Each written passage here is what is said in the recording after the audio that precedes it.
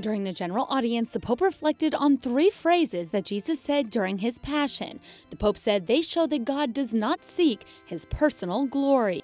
Pope Francis also spoke about how Jesus reacts in solitude. He does not close in on himself, but prays. He feels like God abandoned him, but his trusting attitude is what allows him to forgive.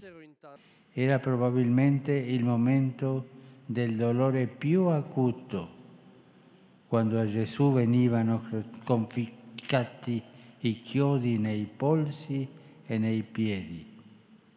Qui al vertice del dolore giunge al culmine dell'amore, arriva il perdono, cioè il dono all'ennesima potenza che spezza il circolo del male.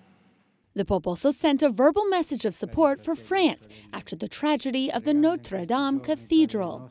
Cari fratelli e sorelle, sono rimasto addolorato e mi sento tanto vicino a tutti voi, a quanti si sono prodigati anche rischiando di persona per salvare la Basilica, va la gratitudine di tutta la Chiesa.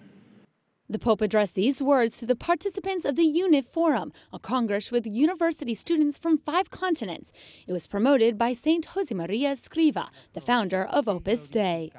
Cari giovani che vivete questi giorni di formazione sull'esempio di San José Maria, fondate sempre di più la vostra vita sui valori della fede affinché cambiando voi stessi sul modello di Cristo possiate trasformare il mondo che vi circonda. This was the last public audience before starting the main liturgical ceremonies of Holy Week. On Holy Thursday, Pope Francis will visit a prison outside Rome. Friday, he'll pray the Way of the Cross at the Colosseum, which is focused on human trafficking this year. On Saturday and Sunday, he'll participate in the resurrection at St. Peter's, where he'll impart the Urbi et Orbi blessing from the balcony of St. Peter's Basilica.